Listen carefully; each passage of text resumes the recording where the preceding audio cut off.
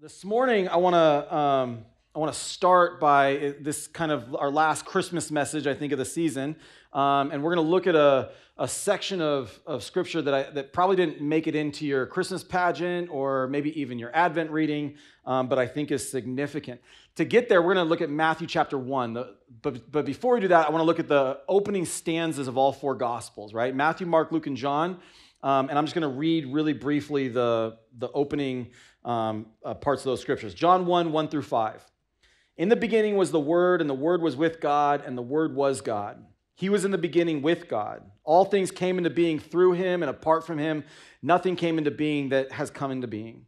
In him was life, and the life was the light of men. The light shines in the darkness, and the darkness did not comprehend it.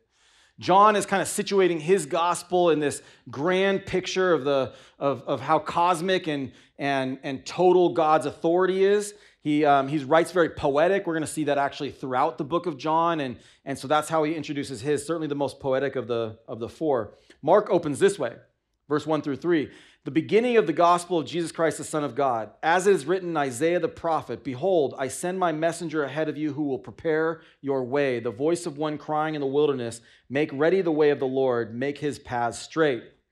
Here, Mark is saying that Jesus is the fulfillment of the Old Testament prophecy um, to Isaiah. He's the Messiah who was promised in the Old Testament, and now he's going to go ahead and prove it in the rest of this gospel. Luke opens this way verse 1 through 4 Inasmuch as many have undertaken to compile an account of the things accomplished among us, just as they were handed down to us by those who from the beginning were eyewitnesses and servants of the word, it seemed fitting for me as well, having investigated carefully every, everything carefully from the beginning, to write it out to you in consecutive order, most excellent Theophilus, so that you may know the exact truth about the things that have been taught so Luke is, is writing his first off to Theophilus, and he's attempting to take more of like a private investigator's roles to examine all the evidence very carefully about this extraordinary claim that Jesus is the Son of God. Here's Matthew, and here's how Matthew starts off his gospel. Verse 1. We're going to actually read the first 17 verses. The record of the genealogy of Jesus the Messiah, the son of David, the son of Abraham. Abraham was the father of Isaac, Isaac was the father of Jacob, and Jacob the father of Judah and his brothers. Judah was the father of Perez and Zerah by Tamar. Perez was the father of Hezron, and Hezron was the father of Ram. Ram was the father of Amminadab. Amminadab was the father of Nahshon. Nahshon was the father of Salmon. Salmon was the father of Boaz by Rahab. Boaz was the father of Obed by Ruth, and Obed was the father of Jesse. Jesse was the father of David the king. David, the father, David was the father of Solomon by Bathsheba, who had been the wife of Uriah. Solomon was the father of Rehoboam, Rehoboam the father of Abijah, Abijah the father of Asa, Asa the father of Jehoshaphat, Jehoshaphat the father of Joram, and Joram the father of Uzziah. Uzziah was the father of Jotham, Jotham was the father of Ahaz, and Ahaz was the father of Hezekiah. Hezekiah was the father of Manasseh, Manasseh was the father of Amon, Amon was the father of Josiah, Josiah became the father of Jeconiah, Jeconiah and his brothers, and at the time of the deportation of Babylon. After the deportation of Babylon, Jeconiah became the father of Shealtiel. Shealtiel became the father of Zerubbabel. Zerubbabel was the father of Abihud. Abihud was the father of Eliakim. Eliakim was the father of Azor. Azor was the father of Zadok. Zadok was the father of Achim, and Achim was the father of Eliud. Eliud was the father of Eleazar, Eleazar the father of Matthan, Matthan was the father of Jacob, Jacob was the father of Joseph, and the husband of Mary, by whom Jesus was born, who is called the Messiah. So all the generations from Abraham to David are 14 generations, from David to the deportation of Babylon, 14 generations, and from the deportation of Babylon to the Messiah, 14 generations. All right. I don't I don't know how to pronounce half those names. You don't either, so I'll just say that I got it right, okay? Um, now, you know, the, the genealogies in the Bible are just kind of universally accepted as the parts you don't have to read, right? I mean, like, if, if you said I read the whole Bible, but you really meant you skipped over all the genealogies in the Old Testament, that's fine. You read the whole Bible. We don't have a problem with that. There are lists of long lists of names that are hard to pronounce and the people that we largely do not know. You know, the ancient perspective, though, is very different. And I want to I wanna key in on, on why Matthew is opening his, um, his gospel this way. I wonder how many people have decided, you know, I'm going to read the New Testament and they got to math, they started with Matthew chapter 1, and then they just were like, nah, never mind, I'm not going to do that. Um, you know, Matthew was writing his gospel primarily to the Jews. And the Jews, um, even though we read this and we think, what a mess, I don't even know what to make of that, the Jews, this would have been very central. They would have understood exactly what uh, Matthew was, trying, was attempting to do. And the reason is because your genealogy, um, while most of us, it might be like kind of a fun thing you do as a hobby, to the Jews, it would have been very important. They would have understood this um, very, as a very important part of who you were. In fact, um, your genealogy, the people you came from, had a, had a large role to play in who you were. A couple months ago, we, I, I did a sermon on identity. And we talked about how, um, for the Jews, who your father was, the people you came from, had a lot to say about who you were. Um, even today, in several honor cultures, several Asian cultures and Korean cultures, you, you would introduce yourself with your, with your family name first, your last name first, and then your, your, your first name. Or what do they call that? Your first name, your surname. Is that your surname? No, your surname is your last name, right? Yeah, your given name, right? Yeah, thank you. Okay. Chris, pipe down, okay? If you don't know the answer, don't get messed up. All right. We're in it together. Um, you know, I, I, was thinking about in Lord of the Rings, right? The, the main dwarf was Gimli, son of Gloin, right? So the Lord of the Rings, they have the same kind of honor culture. Is it who you come from, who your father is, is very important. For the Jews, this would have established your, your, um, uh, your, your a lot about your destiny. What tribe you came from had to do with your inheritance and your lot that you got in the promised land. If you were um, a, a Levi, you could be you could operate in the, from the tribe of Levi. Only the, that tribe could operate in the um, in the temple, and you had to be specifically of the tribe of Levi, of a descendant of Aaron, if you wanted to be a priest or a high priest.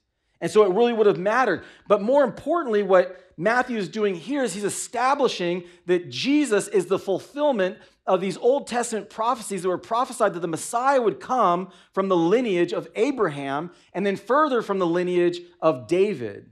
There are these, these major promises that we find in the Old Testament that God says, My chosen son, my deliverer of Israel, the Messiah, is going to come both from Abraham, this covenant he made with Abraham, and a covenant he made with David. So the people reading it would have understood exactly what it was that Matthew was doing. He was establishing who Jesus was by way of his lineage. But as they were reading through that, there's part of this genealogy that would have made them sit up straight and confuse them and made them pay attention for sure. Because what we have in this genealogy, and I don't know if, in this long list of names, you might have missed it, but we have the mention of four different women. That would have been very uncommon. Uh, almost never do you see in genealogies women appear at all, even though we all know everybody's got a mom and a dad. But fathers were the only ones that mattered for the passing on of this, this identity, this heritage. It was who your father was that, that mattered. This was a patriarchal society. And that was the, the most important part. But in this, we have listed Tamar, Rahab, Ruth, and Bathsheba. We have women listed along, these four women listed along with their husbands. That would have caused them to sit up and pay attention. More specifically, though, why is it these four women? There's far more women that are left out than make it into the genealogy. There's several men, almost 40, but there's only four women. Why these women? Well, they're not the most prominent women.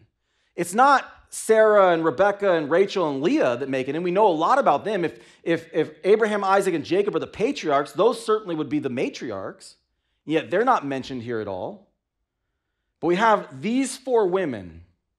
I want to try to look this morning at, at why it was that God deemed it important to include these four women in the opening verses of Matthew. Let's start there. Let's take them in order. We're not going to read the entire story of each of these women. We're just going to kind of give an overview. But I left, I, I put the scriptures up there if you want to investigate it more. Matthew chapter 1, verse 3 says, Judah was the father of Perez and Zerah by Tamar. Now, interestingly, Tamar was Judah's daughter in law. Judah, you remember, he's one of uh, Jacob's 12 sons. He's one of the 12 tribes of Israel. In fact, we know that Jesus is going to come from the tribe of Judah, and it's often prophetically called the Lion of Judah in the Bible. That's named after Jacob's son Judah. Well, here it is that Judah has three sons. His first son's name is Ur. Ur marries a Canaanite woman named Tamar. Okay? Um, Tam- uh, uh, Ur, the Bible says, was wicked, and so the Lord killed him. Now, in the Old Testament, there was a, a way of dealing with um, uh, widows. And, and the problem was to be a widow in the ancient world was to be very vulnerable. It was to be um, in trouble. You had no male protection. You had no, you couldn't um, hold lands. You, you, you, were, you couldn't hold a job. You had very little ways of, of taking care of yourself. And so to be a widow was to be vulnerable. It was to be dangerous. And so the way that, that you dealt with in the Old Testament is if, if your husband had a brother, it was your brother's responsibility to marry you and, and give you offspring in, in, in order to ensure that you're taken care of. And so when God killed Ur, uh, Tamar was married to Er's brother, Onan. Now, Onan was also an evil man. Onan understood he, wa- he married her, it was his responsibility, but he did not want to give her children. Because if he gave her children, the children of Tamar and Onan would be considered the children of Tamar and Ur. And, and by being Er's children, he would have had the right to a larger inheritance than Onan and his children would have. And so Onan was willing to have sex with her, but the Bible says that, that he, he didn't want her to have children, so he spilled his seed on the ground. The Bible says this displeased the Lord, and so the Lord killed Onan. That leaves us with the third son, Shelah. Now, the problem with Shelah is that Shelah is just a boy. He's not ready to be married. And so Judah says to Tamar, he says, Go home to your family, live in your family's house, and when Shelah is old enough, I'll give him to marry you. And the problem with that is that Judah had no intention of giving Shelah to her to be married. He thought, You married my son Ur, he's dead. You married my son Onan, he's dead. Shelah is all I got left. You're not getting him. And so as Shelah grew and got older and older, it became clear to Tamar that Judah was not intending to give that son to her. And so she found out that, that Judah was going up to, to shear his sheep. And so she dressed herself in the outfit of a prostitute, wore a veil, and went and sat by the road. When Judah came by, she seduced him and she slept with him. Now, at the end of this transaction, Judah said, I forgot my wallet. And she said, Okay, he said, I promise I'll pay you back. She said, Give me your ring and your staff as a pledge that when you come back from shearing your sheep, you'll come back and, and you'll give me my money. And Judah says, Okay. He gives them to her. On his return, he came back. He couldn't find her. He inquired in the town, Where's the, where's the prostitute from here? They said, There is no prostitute in this town. He was embarrassed and humiliated. He just kind of slunk back to his old, his old town and just forgot about it. The problem is, a couple months later, is that Tamar turned up pregnant. Now, this would have been a big scandal back in the day. If, if you're a young woman, you come, an unmarried woman, you come home pregnant today, it's not exactly, you know, um, encouraged, right? But you're not going to be in that much trouble. Um, Tamar, though, is, has embarrassed not only her family, but she's embarrassed Judah's family. And Judah actually, because he was her father in law, he had authority over her. When they came and told Judah that she was um, pregnant, he said, this is, this is a terrible embarrassment. We're going to burn her alive. Okay, so you're probably not worried about getting burned alive. They start to get the sticks together in order to, to burn her. And, and as they bring her out, she says, I, I, Before you burn me alive, I want to tell you that the father of my children is the man who these belong to. And she brought out his ring and his staff. And automatically, Judah understood that he was the one who was guilty. And to his credit, he didn't try to hide anymore or punish her. He said, In fact, you are more righteous than I am. That's the story of Tamar. That's almost all we know about her. She went on to have twins. Perez was a descendant of Jesus. The next verse is Matthew 1 through 5. It says, Salmon was the father of Boaz by Rahab. Now, Tamar was pretending to be a prostitute. Rahab actually was a prostitute. Rahab was a woman who lived in the city of Jericho. Uh, Jericho was the center of Ashtaroth worship. Ashtaroth worship was a fertility god that was a problem all throughout Israel, that Israel would go after this idolatrous Canaanite god. And Rahab was a, was a ritual prostitute. Part of the part of the worship of Astaroth was, was not only divination and fortune telling and, and, and that kind of thing, but it also meant that you would go and have um, sex with one of the prostitutes that was connected as an act of worship. Well, to, uh, um, Rahab lived during the time of Joshua and the, the conquest of Canaan. And, and you guys, most of you know if, uh, from little kids, we talk about a lot that the city of Jericho is the one they marched around and the walls fell down and they destroyed it. Well, she lived there. Before that happened, uh, Joshua sent in two spies into Jericho to spy out the land to see what they were dealing with. The two spies stayed at Rahab's house. They were hiding out there when the king found that there were two men spying out the land, and, and he went sent soldiers to Rahab's house, and Rahab hid them on the roof and said, They went that way. As the soldiers went off, she said, I believe in the God of Israel. And I believe if there was ever a place that was going to fall under God's, if there's a righteous God that would be worthy of falling under his destruction, it's got to be this place. Please don't forget me and, and, and how I've helped you today when, when your God delivers this city. They said, okay, put a scarlet cord outside your window and we'll tell our soldiers to skip your house. Well, Jericho fell. They sacked the city, except for Rahab's house.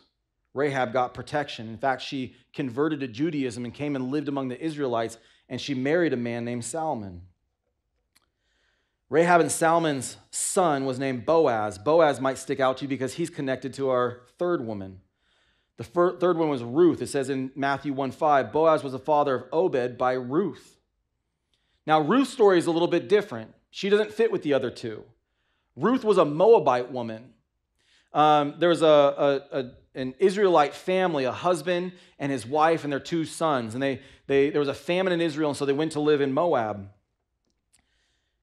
Over the course of time, the, the mother's name was Naomi. Her husband uh, and her, her, two children married Moabite women, uh, Orpah and Ruth, and then they all died the husband and the two sons, widowing these three women, again, putting them in a very difficult position. Their only hope was, was possible destitution. And so, or, uh, in this situation, Naomi said, Orpah and Ruth, you guys go back to your families, and I'm going to go back and, and, and try to eke out an existence in Israel. Orpah said goodbye, but Ruth said, famously said, Wherever you go, I go. I'm sticking with you. And she went back with Naomi to Israel. Well, there they were, they were just had a very um, uh, a meager existence. Um, God made a law that when you went through and harvested the grain in your field, you weren't allowed to harvest the corners and you weren't allowed to go through a second time. Because that way the, the poor and the indigent could go through and they could, they could grab whatever the late harvest was or they could grab whatever was left over. And so that's how Naomi and Ruth lived, is just by being able to, to get enough food just to survive hand to mouth. This man, Boaz, though, the son or the grandson of Rahab, he looked out at his field one day and he saw Ruth and he found her to be lovely. He inquired about her. He found out that she was a woman of, of great reputation. There was also a law that, that, um, that he was able to be what's called a kinsman redeemer. He was related to, to Ruth's husband, and so he had a right to go and marry her. The entire book of Ruth is about this picture. And in fact, Boaz is a picture of Jesus and going after Ruth and redeeming her from the life that she had. He married her. I don't think I, I ever put it together before this, before working on this Bible study, that, that um, Boaz was actually the son of Rahab. I wonder when he looked out at that field and he saw Ruth, he saw a Gentile Moabite woman in a bad spot, if he, if he thought back to his own mom's story, the way that God had rescued her, and that maybe kindled something in what he saw when he looked out there. The fourth woman is Bathsheba. Maybe one of the most famous, you've been, if you've been a Christian for very long, you likely know who Bathsheba is. Her story is in 2 Samuel 11 and 12. Matthew 1 6 says, David was the father of Solomon by Bathsheba, who had been the wife of Uriah. The wife of Uriah is who she was when we first meet her. The Bible says that, that David, who had been a man after God's own heart, who God had taken to be king over Israel and had tested for many years and had passed test after test after test and trial after trial after trial, he was found faithful until really this point. The Bible says at the time when kings go out to war, David stayed home. It says that David went out on his roof and, and he was surveying his kingdom and he looked over and he, he got a glimpse of a woman who was bathing on her roof. He called his servants and he said, Who is that woman? They said, That woman's name is Bathsheba. She's the wife of your servant Uriah. David said, Send her to me. She came in and, and David slept with her and sent her away. I'm sure David felt bad about it, embarrassed, ashamed. But he thought, okay, I'll never do that again. That problem solved until Bathsheba came to him several weeks later and said, I'm late. That's a problem because Uriah is out at war with the king's army, where the king should be. And David begins to panic, and so he hatches his plan. He's going to call Uriah back under the false pretenses of giving him a report about how the war is going. And when he's home, he'll send him home to sleep with his wife, and then Uriah will, will think that the child is his. The problem is, is that Uriah is a righteous man. And so Uriah comes home, he gives the king the report. But instead of going home, he says, Far be it from me to go home and enjoy my family and, and, and sleep in my house. When the king's servants are all out to war, I'll stay here. And he sleeps on the king's steps with the king's servants. Well, David really begins to panic, and so he hatches another plan. He says, Okay, I'll throw a big feast and I'll get him drunk. And when his inhibitions are down, then he'll, he'll certainly go home. That night, throws him a feast, gets Uriah drunk, and yet Uriah does the same thing. He holds fast to his integrity. And David, thinking all the things he had done are about to crumble in front of him, he hatches his final plan, which is to write a note to Joab, his commander, saying, I want you to put Uriah at the very front of the battle. And when it's the most fever pitched, I want you to pull back from him. I want you to abandon him. So he gives the note to Uriah. Uriah delivers it to Joab. That's exactly what Joab does. Joab sends a note back and says, We did what you wanted. Uriah is dead. David then goes to Bathsheba and marries her and thinks that his sin is covered up until several months later when the prophet Nathan comes to him. And Nathan tells him a whole story about a rich man and a poor man, and the rich man had taken the one lamb that the poor man had for his own selfish needs. And David becomes righteous in his indignation. He says, Bring that man to me. I'm going to destroy him. And Nathan looks him in the eyes and says, You're that man. I've given you everything you could have ever wanted. And yet you went and defiled my, me and my name and Bathsheba and Uriah. And David falls on his face and repents. That's the story of Bathsheba, though. She's the woman who committed adultery with David. And so here we have these four women. We have Tamar, we have Rahab, we have Ruth, and we have Bathsheba. Everyone would have known who these women were. All four Gentile women. Three of the four scandalized in terrible ways. Why does Matthew go out of his way to record these four women in the genealogy of Jesus? It reads like an episode of Jerry Springer. I mean, these are wild stories. If you're like under 30, uh, Jerry Springer, how do I describe it? Just kidding. You know, I, have gone through and done a little bit of work on my own genealogy. And, um, and I was I, I found out some things. Be, before we came to America, Van Meter, my last name was Van Meteren. It means it's, it's Dutch for from Meteren. It's a city in Holland. Not a city, it's a town in Holland. But, but one of my, um, my ancestors is Jacobus Van Meteren. And uh, he was one of the financiers of the Tyndale Bible and the, the Coverdale Bible, which, if you know anything about Reformation history, these were the, two of the first um, Bibles that were written in English, which at the time was illegal. In fact, um, Tyndale was, was burned at the stake for, for printing these Bibles. And, and my ancestor was, was one of the primary financiers of that. I'm also related to a man named Homer Van Meter. Homer Van Meter was a famous bank robber. In fact, he was in John Dillinger's gang, and uh, he, was, he was in and out of prison. He was, he was just a, a a derelict, and, and um, he ended up being killed in a shootout with the police. It was like 1930s. I, um, there's, a, there's a town related to our family in Iowa called Van Meter, Iowa. And uh, just recently, I was, just this last year actually, I was like doing a little research on it, and I come to find out that Van Meter, Iowa is also famous. It's, um, it's famous for a, uh, what would you call it, like a, a famous sighting of a weird creature called the Van Meter Visitor. I actually have a picture that was taken. This is the Van Meter Visitor. That's up there back in like 19 early 1900s, 1901, 1902. A bunch of people in Van Meter, Iowa saw this kind of wild winged super tall creature that has a horn on its head that shoots some kind of powerful beam and he's bulletproof out of his head. Now that's an interesting story, but I come to find out it's actually like among like paranormal stuff, it's kind of well known. I had nobody shared with me. Apparently, I don't run in those circles, but um, in Van Meter, Iowa, there is a Van Meter visitor festival every year. Is a that's the thing, and uh, I got to make it out there someday. Kind of. The son comes home. Yeah, okay, you can go, Matt. Uh, we'll go together. And um, okay, so as I'm telling my story, if I'm going to explain my family history to you, I much more want to relate with Jacobus Van Meteren than I do with either Homer Van Meter or the Van Meter Visitor, okay? We all have parts of our lives that we would rather, like the, the parts that are highlights and the parts that are lowlights, right? Why is it that as Matthew is, is why is he highlighting these lowlights? Why is he highlighting these parts that would be shameful and embarrassing, these stories of these women that are really not ideal?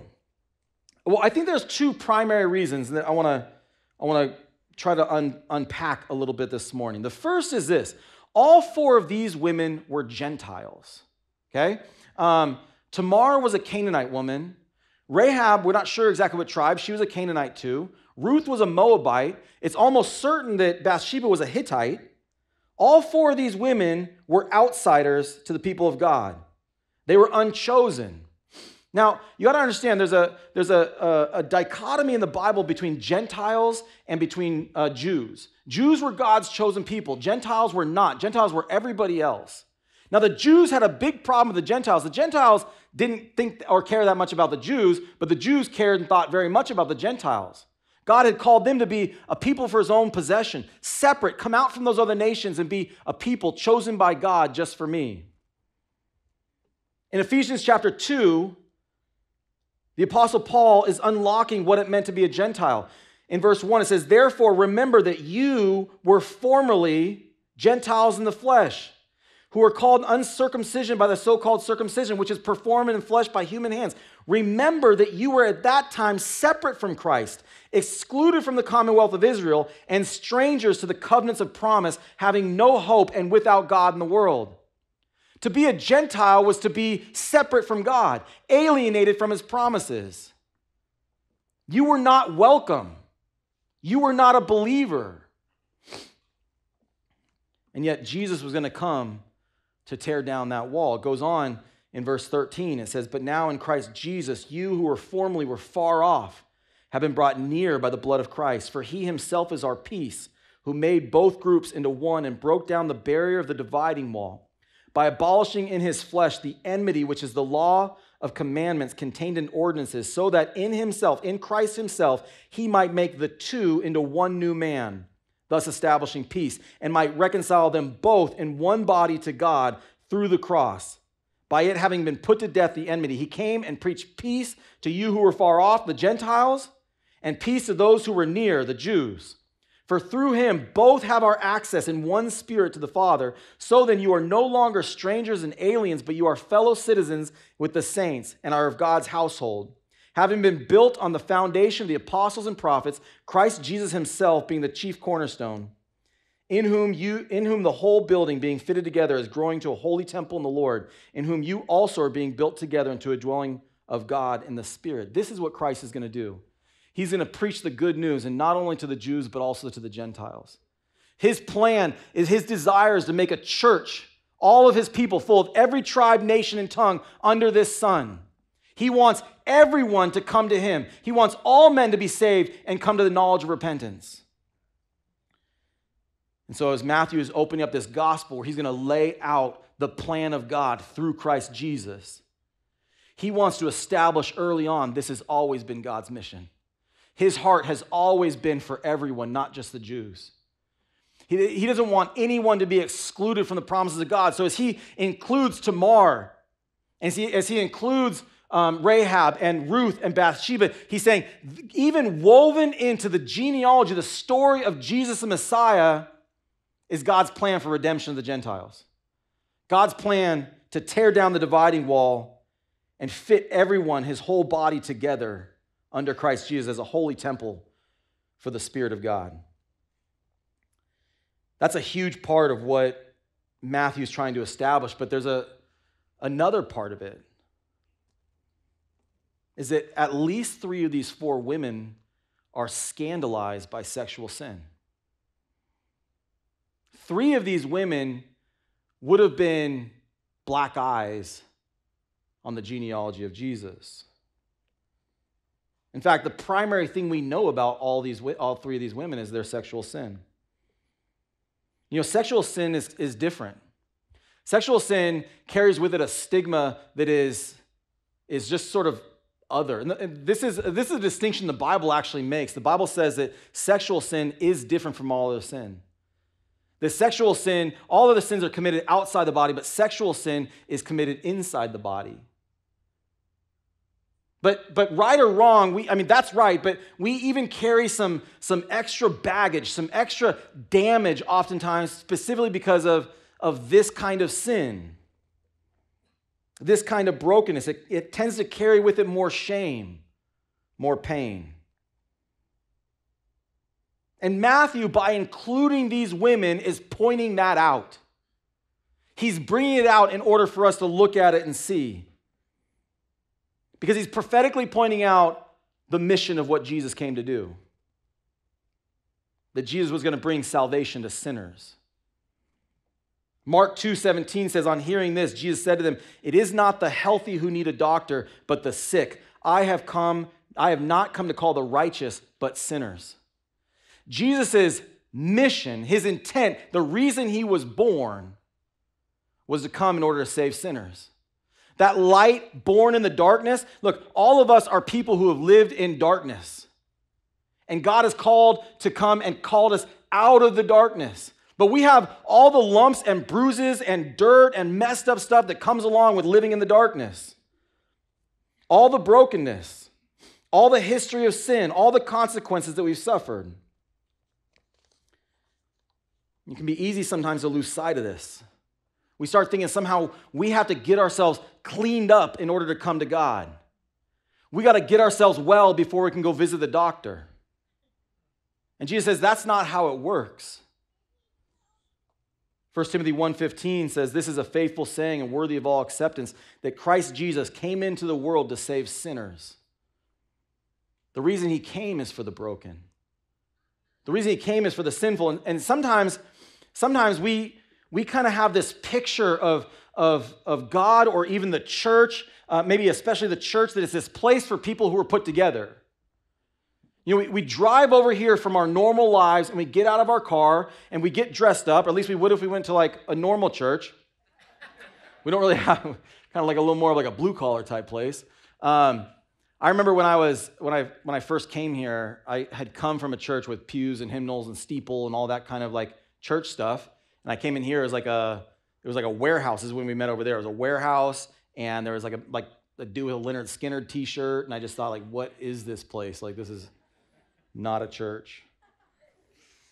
We come, you know, even our church, we have greeters. You're going to walk in here and you're going to have all kinds of smiling people. They're going to say, Hello, we're so happy to see you. And you're going to come sit down a sermon. We're going to sing songs about how great God is and how wonderful He is. And you're going to go out and people are going to say, God bless you. And, and great to see you, brother. And, and, and it just give, give you the impression that everybody here has it all together. And then you get in your car and you go back to your normal life. It's not like that. And it'd be easy for you to kind of start to feel like, I don't belong here. I don't fit in. But that's not what a church is. That's not the church. Now, look, I, I want to tell you the church has got to be a place for broken people. The church has got to be a place for sick people. Here's the deal God, God loves holiness. Don't get, it, don't get it twisted. He loves righteousness, He abhors evil. We believe in progressive sanctification. We believe that as you walk with God, you should become more sanctified. God wants to deliver and free you from sin. We believe that. But this place will be a dying place. If we turn into a big uh, uh, situation of just, uh, a big congregation of just a bunch of righteous people. How many of you guys are grateful that when you came to this church, God wasn't waiting for you to get cleaned up before you came in?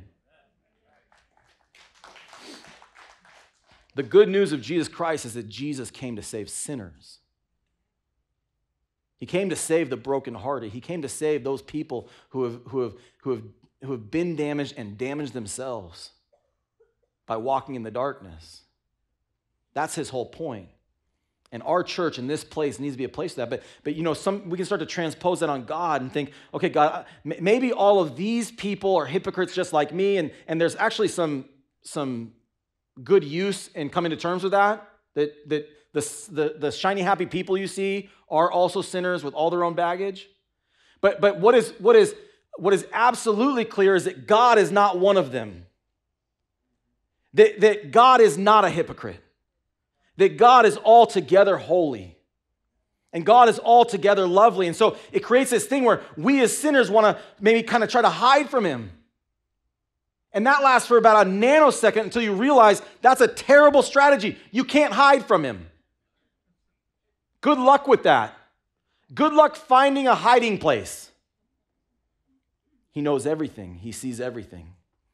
And so you're left with this dilemma He's a holy and perfect God, and I am a holy, defiled, and imperfect human being with nowhere to run, with no hope.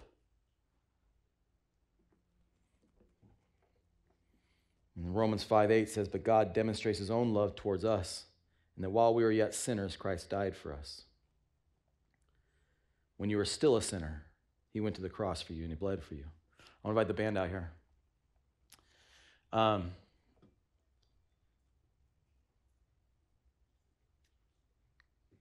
in the in the book of John is the only place we get this story.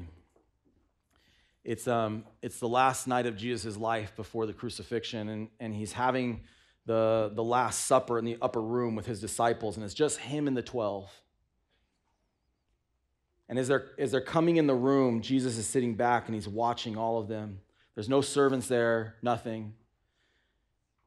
And he sees them come in the room, and nobody's there to wash the feet. Now, washing feet would have been a very ordinary, normal part of life because um, you, you, at that time, first off, if uh, the, the roads weren't paved, everything was dirty, everything was dusty. There, Um, they didn't have sanitation like we have it today. They didn't have a trash man to come take your trash out. So the, the streets are filled of refuse. They're, they're, um, they're, they're full of waste, human waste, everything, animals. And so as you just walked through the city, just walking around, you would get filthy. You have sandals, open toed shoes. And, and, um, and so anytime you would come in a house, you would have your feet washed.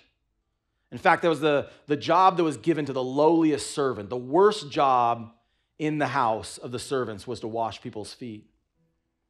And so it makes sense why none of the disciples would want to do it. And so they all came in, they all started sitting down. Jesus got up and he took off his, his garment, he put on, um, uh, he, he wrapped himself in, in a linen and, and he went and got a basin and began to wash the disciples' feet. And he gets to Peter. And he begins to, to stoop down to wash Peter's feet. And Peter says, Lord, are you going to wash my feet? No way. No way I'm letting that happen. That seems right. That seems like the right response. Seems like, no, no, no. Jesus, you are good and pure. You are high and lifted up. You have all the authority and power. I should wash your feet. So Peter's like, let me wash your feet. And Jesus looks at him and he says, if I do not wash your feet, you have no part with me. You know, we all want to hide the dirty parts of our lives. We all want to look put together. We all want to look like we know what we're doing and, and, and we're okay. I definitely do not want you to know about my sins and weaknesses and the worst parts of who I am. I don't want you to know about the thoughts that I would never deign to utter out loud, but Jesus, He sees them all. He knows them all. He knows me completely. Every single thing I've ever done in the darkness is in the light to Him. Every single thing that you have ever at your weakest, worst moments, thought and done, are right there in front of him. And it makes sense to say, no, no, I don't want you to wash my feet. They're too dirty. That's too disgusting. Yet he says, if I don't wash your feet, you have no part with me. Because there's only one way to come to God. There's only one way to be reconciled to Him. And that's through repentance of your sin and receiving the free gift of love from Jesus. That's the whole gospel. That's the good news. Is that sinners can be saved. The only kind of people who can be saved are sinners. The only kind of people who can be right with God are those who are broken, are those who are dirty. Because that's who God came for. Jesus came for that person. Would you stand to your feet?